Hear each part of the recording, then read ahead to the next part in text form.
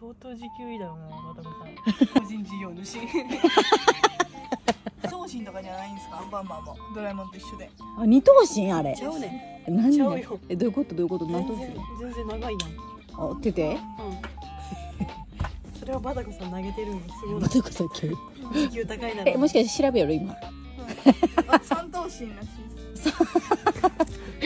アンパンマン頭の重さって調べてみて。相当時給いいだろうなバタコさん 時給。確かに。そこ。112キロ。ほんま？ほんまや。身長が100 1メートル60センチ。え？顔の直径が76センチ。ちょっと待って。計76でかない？166だから半分え166センチもあるの？これぐらいです。直径。何が？